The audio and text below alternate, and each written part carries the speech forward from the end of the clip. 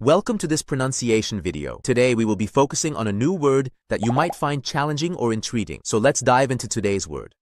Esservi, which means Esservi is not an English word or recognized term in English. Let's say it all together. Esservi. Esservi. Esservi. One more time. Esservi. Esservi. Esservi.